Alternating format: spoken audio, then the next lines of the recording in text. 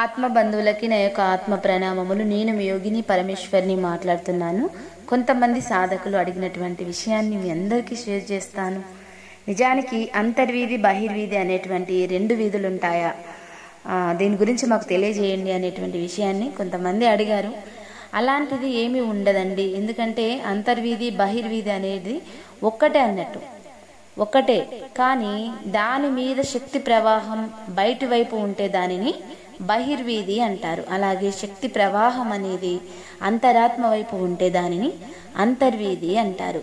ఉదాహరణకు చూడండి మీరు హైదరాబాద్లో బొంబాయి రోడ్డుపై నిలబడి ఉంటే అది బొంబాయి వెళ్తుంది అని అంటారు.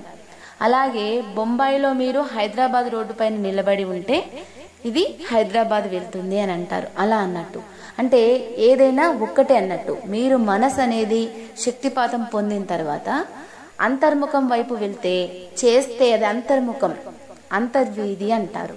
అలాగే కొంతమంది సాధన తీసుకున్న తర్వాత అంటే శక్తిపాతం కుండల్ని యాక్టివేషన్ అయిన తర్వాత ప్రాపంచిక విషయాల పట్ల ప్రాపంచిక వస్తువుల పట్ల వ్యామోహంతో కోరికలతో సంకల్పాలతో బాహ్యం వైపు అంటే మనసు అనేది బాహ్యం వైపు పెడితే అటే వెళ్తుంది. దాన్ని బహిర్వీధి అంటారన్నట్టు.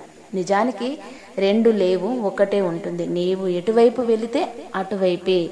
అది ఒక్కటే అని తెలుసుకోవాలి. Thank you God for everything thank you all of you